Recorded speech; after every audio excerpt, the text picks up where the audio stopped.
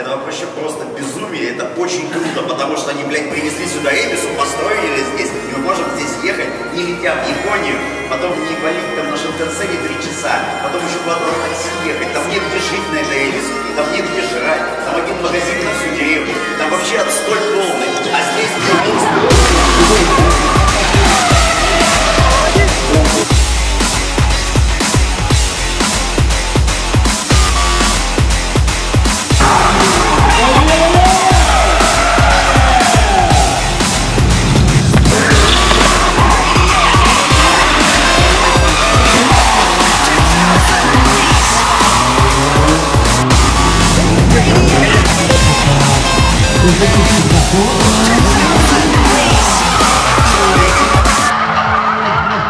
Outside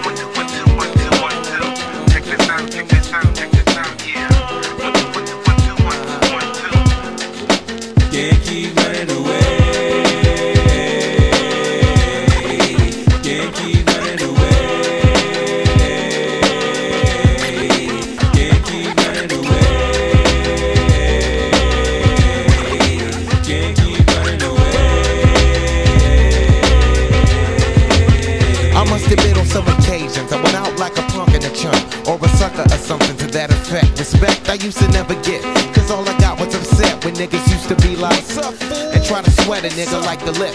For no reason at all I can't recall cause niggas rolling C's in my face. Down the hall and kicking it in the back of the school eating chicken at three. Wondering why's everybody always picking on me? I tried to talk and tell them Chill I did nothing to deserve this. But when it didn't work I wasn't scared Just real nervous and unprepared To deal with scrapping no doubt. My pappy never told me how to knock a nigga out But now in 95 I was surviving a man on my own Fuck around with fat lip, yes, shit get blown I'm not trying to show no macho is shown But when it's on, when it's on, then it's on keep running away.